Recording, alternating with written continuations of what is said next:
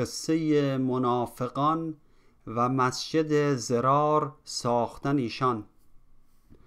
یک مثال دیگر اندر کجروی شاید در از نقل قرآن بشنوی.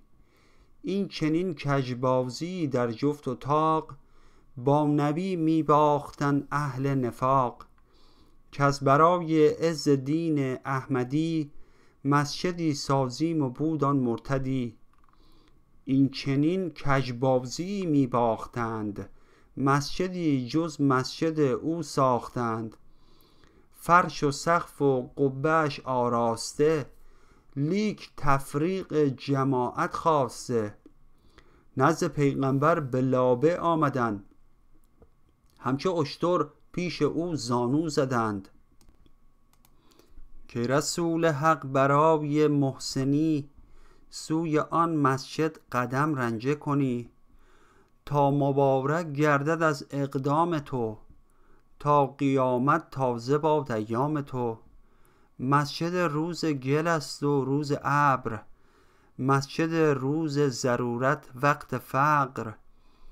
تا غریبی یابد آنجا خیر و جا تا فراوان گردد این خدمت سرا تا شعار دین شود بسیار و پر زان که با یاران شود خوشکار مر.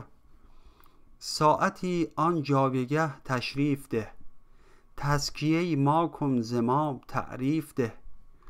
مسجد و اصحاب مسجد را نواز تو مهی ما شب دمی با ما بساز.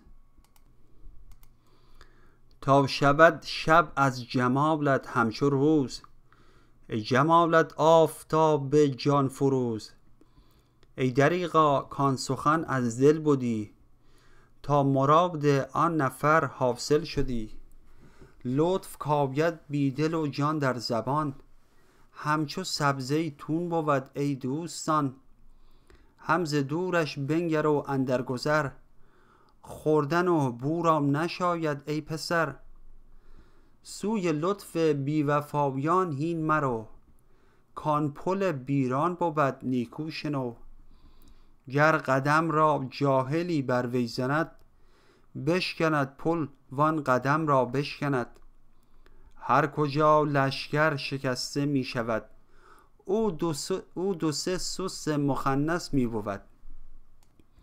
هر کجا لشکر شکسته می شود او دو سه سس مخنث می بود در صف آید با سلاح او مردوار.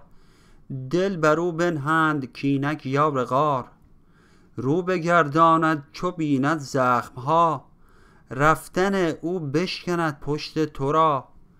این درابز است و فراوان می شود وانچه مقصود است پنهان می شود